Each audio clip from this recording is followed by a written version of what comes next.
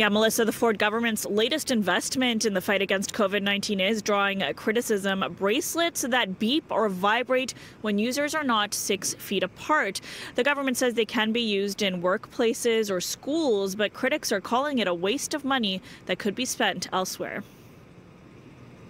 Workers simply wear the device and the wearable technology will communicate with others within a workplace environment.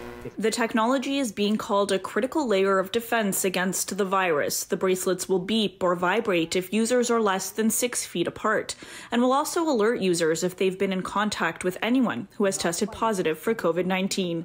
If that sounds familiar, it's because it is. You know, there already is the COVID app. Performing the same task as the existing COVID Alert app, using Bluetooth technology to alert users when they've been in close contact with someone who has tested positive.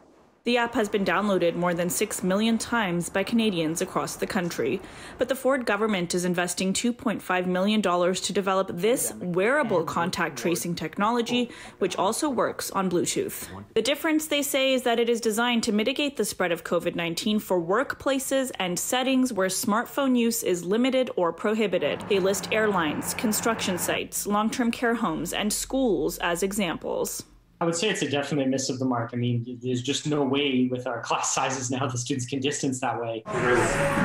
The education sector is speaking out today about what this would look like in schools. So imagine myself walking into the school and hearing beeping coming from every direction because uh, our class sizes are, are, not small enough that students can actually distance six feet in, in any sort of consistent way. Those bracelets could serve as a useful data point just to show, you know, four and a half out of five hours, uh, my, my, my kids aren't able to be six feet away from other kids at school.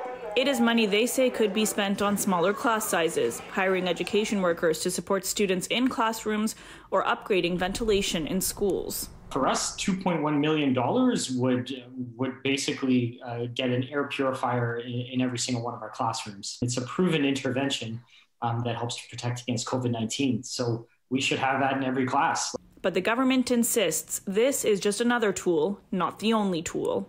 It will add another layer of safety and protection.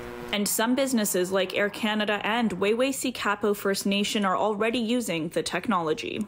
I do think the money could have been better spent elsewhere. I don't see it as introducing technology that's going to be transformative. Um, most people know about the six feet. Uh, there's ways of gently reminding people if they breach that. As for any privacy concerns in workplaces, the government says the data is automatically deleted after 21 days and no personal information or user location is required for the technology. They also say the company is expected to manufacture 150,000 of these devices and it will create 68 jobs in the province.